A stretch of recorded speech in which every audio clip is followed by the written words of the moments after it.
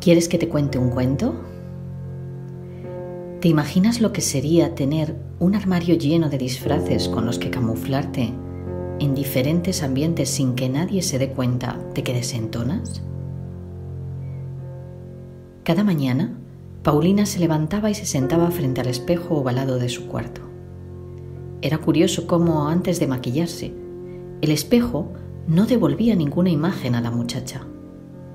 En un minuto revisaba en su mente todo lo que tenía que hacer durante el día. Hoy toca instituto y luego ir a casa de mis abuelos, le informaba su agenda interna. Sin prisa, se dirigía a su armario y elegía el vestuario adecuado para integrarse perfectamente. Luego empezaba con el maquillaje. Una buena base difumina las expresiones y crea una máscara perfecta se dibujaba de una manera minuciosa el rostro para que apenas se notara que no era su cara real. Primero comenzaba con el corrector de ojeras, para disimular esas noches de incertidumbre en vela. En segundo lugar, dibujaba las cejas.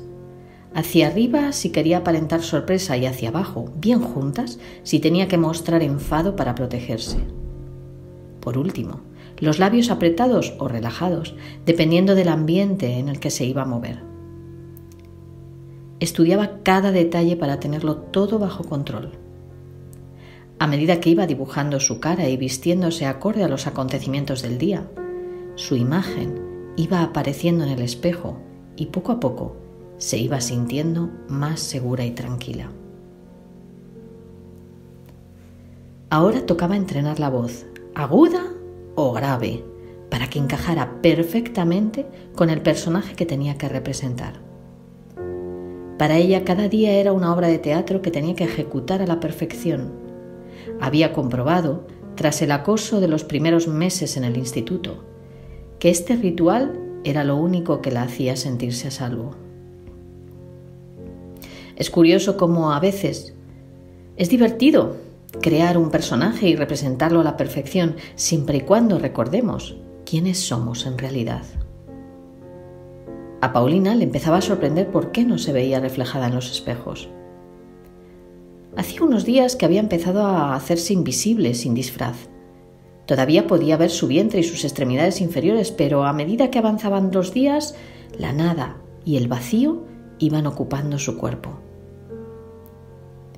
Al pasar la mano por el lugar donde tenía que estar su cara, solo sentía frío, y cada vez que decía una palabra sin disfraz, era como si sus oídos no pudieran captarla.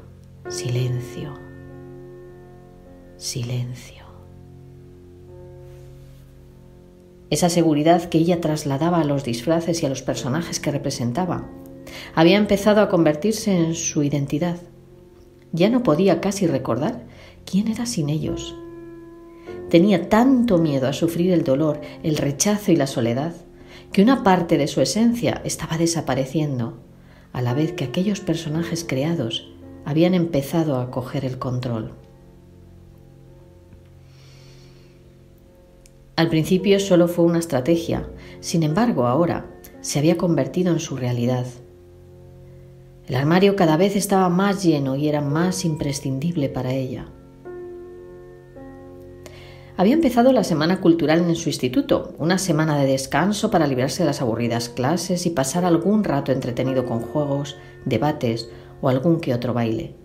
Cada año traían talleres gratuitos para que los estudiantes tuvieran otras experiencias de aprendizaje. El miércoles por la mañana acudió a un taller de meditación. Ese día se había vestido con colores transparentes, máscara neutral y sonidos silenciosos para no desentonar. Observa, observa lo que hay dentro de ti, aquello que está en tu centro, en tu interior. Observa al observador, decía con voz dulce la maestra. Aquellas palabras se enredaron en sus tímpanos sin encontrar salida. Sin resistencia, llegaron a esa zona del cerebro donde se procesan las emociones. Dos lágrimas rodaron por su cara surcando el maquillaje, mientras intentaba entonar el mantra que la maestra susurraba.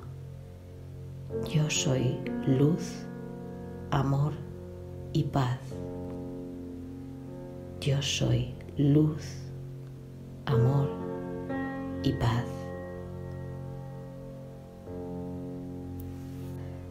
De pronto sus pensamientos empezaron a alejar como si fueran una banda sonora de fondo, tranquila, a la que casi ni prestas atención.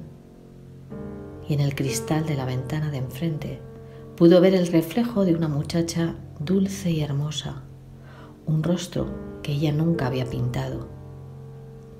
En ese momento la maestra dijo, esa eres tú y ese eres tú.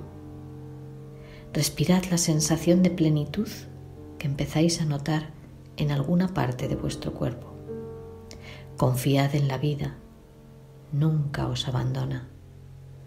Aunque creáis que estáis solos, si estáis atentos, veréis la señal que os indica la puerta que tenéis que abrir. Todo está en el interior.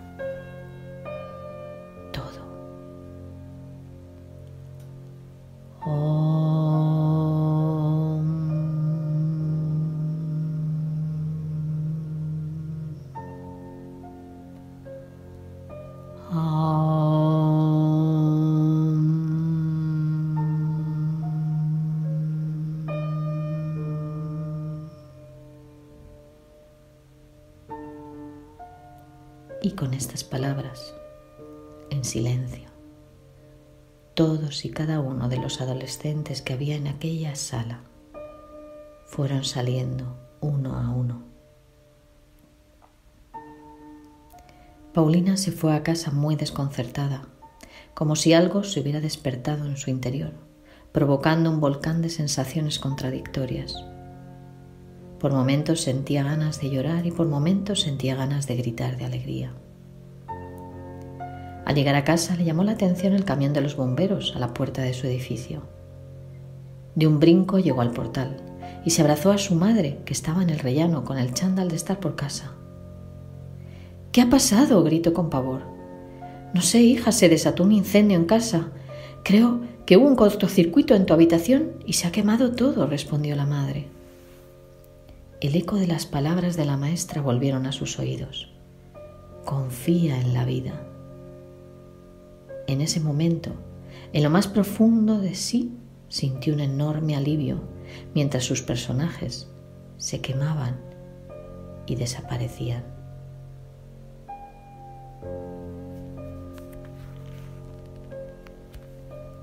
Y solo quedaba una agradable sensación de paz interior. Y una muchacha dulce y hermosa.